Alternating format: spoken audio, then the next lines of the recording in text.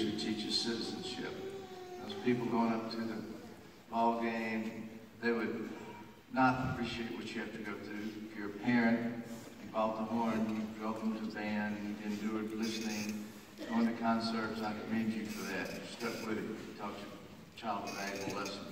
They won't be able to thank you now. When they're 35 and 40, they'll be very grateful for what you've done for them. And I know what it is to be a band director delayed gratification you teach your kids and what will it do for you personally, your, your talents, where you are, is just unmeasurable. And I appreciate you being here more than you can ever imagine. Uh, this is the lifeblood of our program, and we couldn't make it without the feeder programs to us. And most of your mind, I'm very proud of it. We've been very fortunate this weekend to have two of the most personable and I'll tell you, I really have grown to like Professor Kemp is down to earth, and one of my favorite people is Dr. Schumann. His first job was with me at Clinton High School. But before I go on, if I don't give Ross Stark a commercial, he's going to take my cat away from me. So, to purchase a recording of concerts today, you can visit the Stark Productions table in the lobby or go to the band website, www.band.olemiss.edu, and there's a link there. That right, Ross? On this very stage, Ross came in two weeks early on Cuban Overture. And if I'd have had a gun that night, you would be dead right but I like him anyway. Anyway, I, I'm very grateful for you being here, and it's my pleasure. Would really I've asked both these clinicians every time I've seen them, have you had any problems? Is there any discipline? Is there any effort? Both of them have said the students have been great. I want to tell you, at some point each year I usually have to be the house policeman. So I commend the students who've been here, their teachers, and mainly their families for teaching them to behave and act respectfully. It's been a great weekend for me, and I hope it has you. Enjoy our beautiful campus, and I'm very thankful for the good weather. Please help me welcome Dr. Mohammed Schumann to the stage.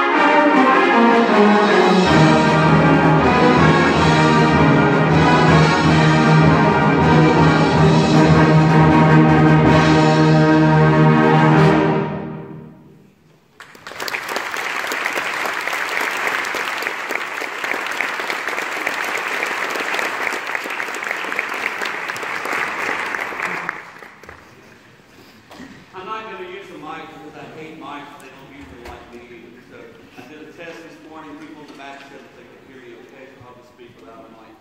That's the marching band voice that will come out. So uh, these students are just busy. If you're a parent of one of these children sitting on the stage, can you please stand and let us recognize you? You've done a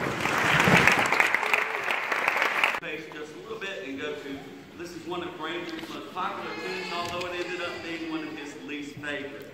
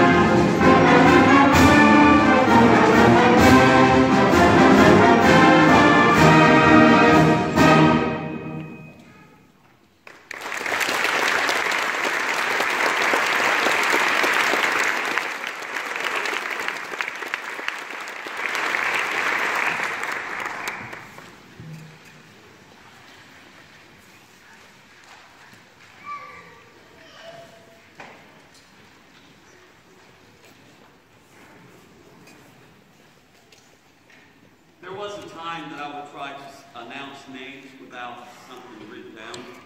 So I was teaching back at, during my career at Stone High School, and back, I don't teach beginners now in the school system that I work for at Ocean Springs, but when I taught at Stone, I taught 6 through 12. And this was this young lady's junior year in high school, and I had all the solos. I was like, I don't need to write their names down, I don't know who they are. And so when it was time for Stephanie to be recognized, I said, and our flute soloist, and I went totally blank. Six years she was my student. And she kept looking at me, and I looked back at her, total silence, and finally she went. and I was like, I wanted to crawl under a rock. I was so I was Stephanie. So I've got names written down here. First, I want to make sure that I thank all the graduate assistants that have helped uh, tremendously uh, with this weekend. Uh, Mr. Alan Carroll, Mr. Ben Ratliff, uh, Mr. Patrick Smith, Mr. David Cuevas, Mr. Michael Swan. Please stand if you're out here somewhere and let us recognize you.